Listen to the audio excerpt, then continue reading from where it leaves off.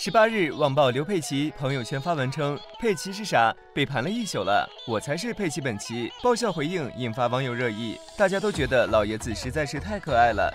据悉，《啥是佩奇》是部电影的宣传片，它讲述了老人李玉宝为了给孙子准备礼物，寻找并制作佩奇的有趣故事。需要什么东西啊？爷爷给你准备。佩奇，什么是佩奇啊？听不见。